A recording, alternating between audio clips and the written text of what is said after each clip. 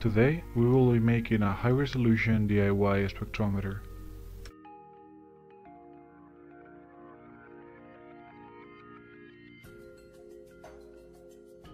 Design and components. As you can see, the general design of the spectrometer is actually pretty simple.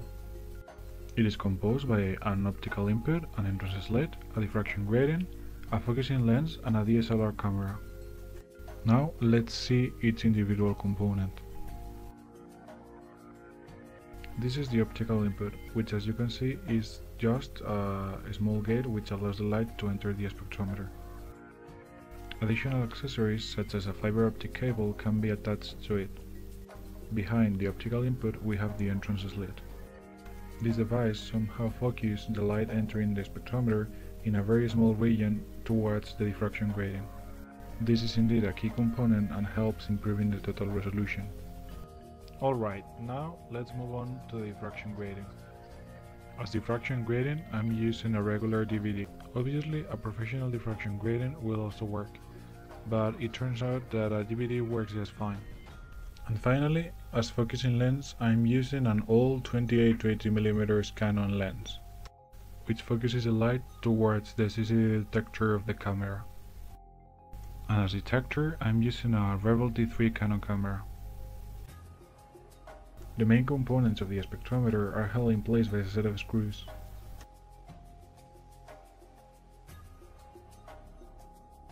The spectrometer can be operated in two main modes. In the roll mode, no additional accessories are attached to the optical input. Additionally, an entrance slit is placed between the optical input and the diffraction grating, and the use of a diffuser screen is highly recommended. On the other hand, when working in the SMA mode, the entrance slit is removed from the spectrometer. Additionally, the SMA connector is attached to the optical input, where a standard fiber optic cable can be connected.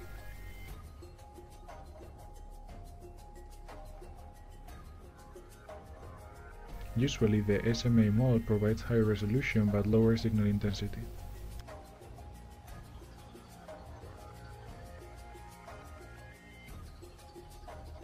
Data acquisition. The data is directly acquired using the display of the DSLR camera. The acquisition time and the ISO values are selected depending on the sample to be analyzed. The spectrometer can be calibrated using a wide variety of light sources. In my case, I will use a combination of a neon flickering lamp and a compact fluorescent light bulb. These sources are ideal since they produce a very well-defined spectra. Here you can see an example of the neon spectrum taken directly with the spectrometer.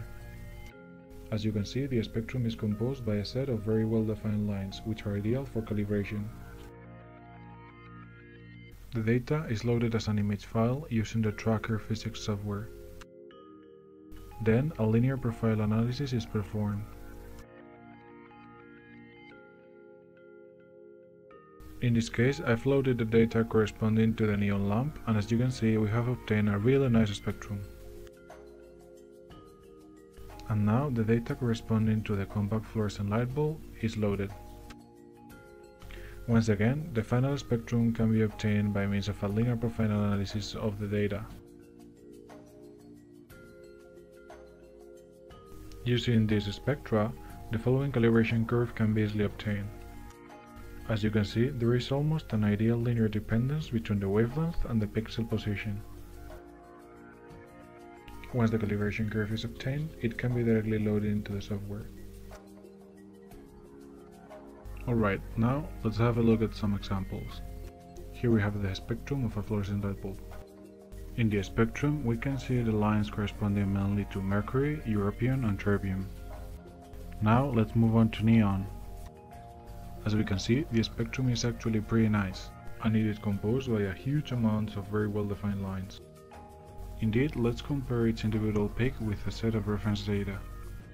As you can see, the experimental data is in well agreement with the reference one. Now, let's move on to a high pressure sodium lamp. Once again, here we have a really nice spectrum, showing very discrete and well-defined lines.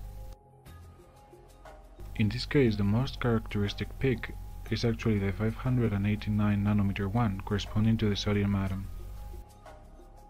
However, it's worth to mention that in this case, this peak is not actually a maximum, but is a minimum, which therefore means that the light is actually being absorbed.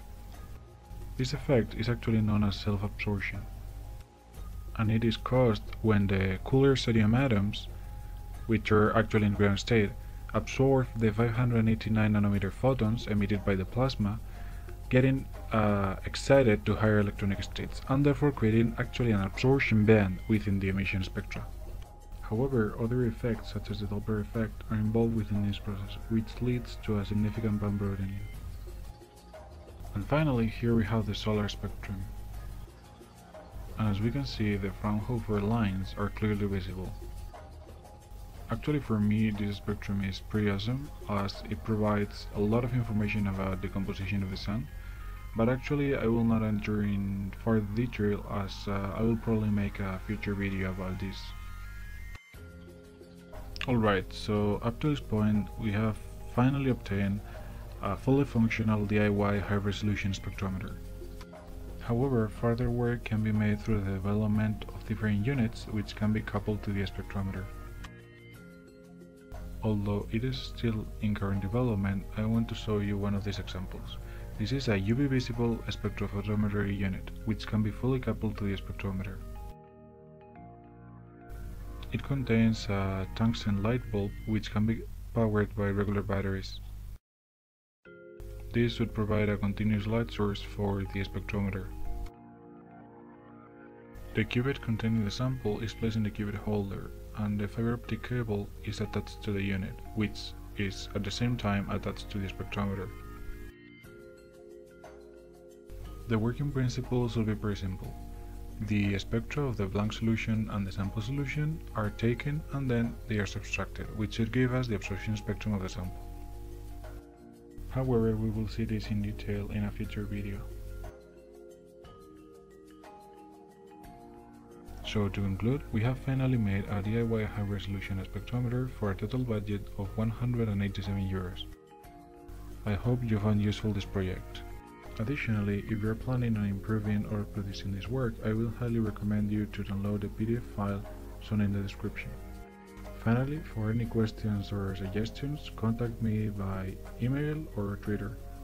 Thanks for watching.